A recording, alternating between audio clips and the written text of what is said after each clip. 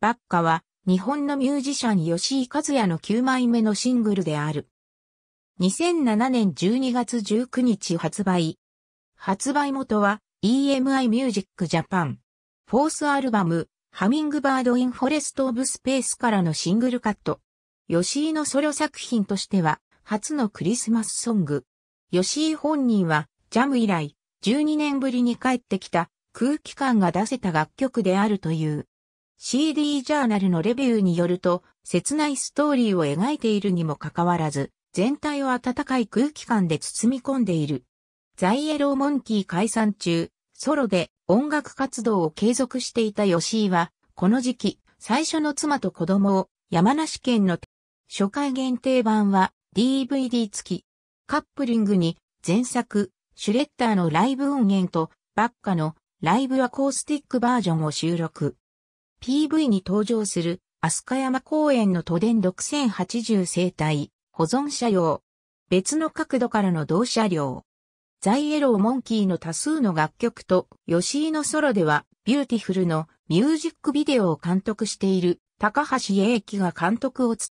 ジャムに出演していた当時10歳くらいの男の子と、女の子が成長した姿で出演している。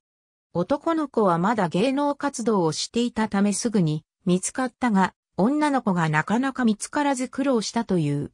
高橋監督のこれまでのミュージックビデオ制作では、吉井が抽象的なことしか話さないので打ち合わせをしてもわからない部分が多いというのが通例であったが、今回吉井ははっきりと言ってきた。高橋はそれに合わせて物語を組み立てたが、高橋はことによると最初に吉井さんから伝えられたと思った真実も僕がただ一人でそう感じていたものかもしれないです。自伝的な事実は存在するだろうし、それはことあるごとに様々な形で伝え広められていくことでしょうとも言っている。高橋によると、撮影、撮影のほとんどは、吉井の生まれ育った東京都北区で行われ、吉井の成果も外観だけ登場している。そのアパートには、吉井の幼少期の自分や父母の写真が、その他、世田谷区三軒茶屋でも撮影が行われた。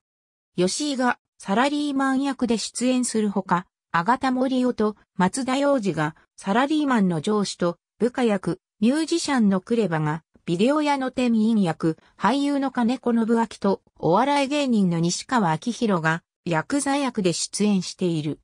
クライマックスで吉井が天を仰ぎ落下する場面は、吉井が幼少の頃、仕事中の転落事故により26歳で死去した父、吉井明をイメージしたものである。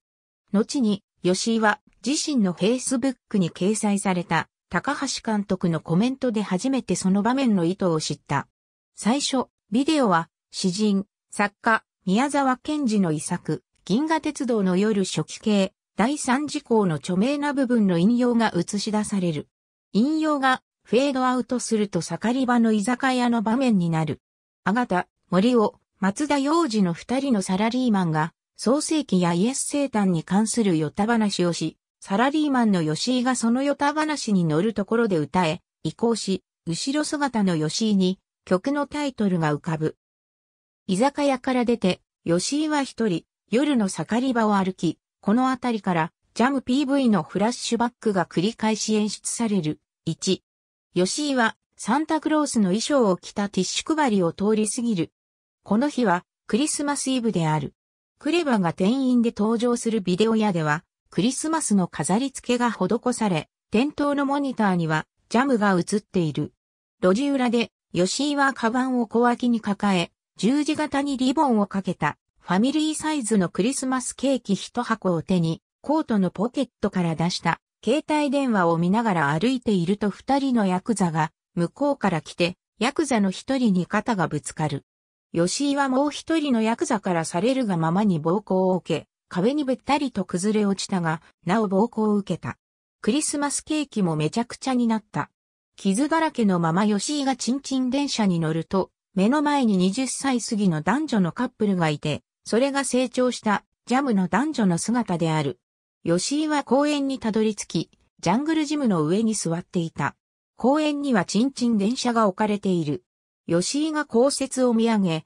降雪の夜空とともに、ビデオは終了する。バッカ4時24分シュレッダー6時36分バッカ4時49分シュレッダー PV バッカ PV。ありがとうございます。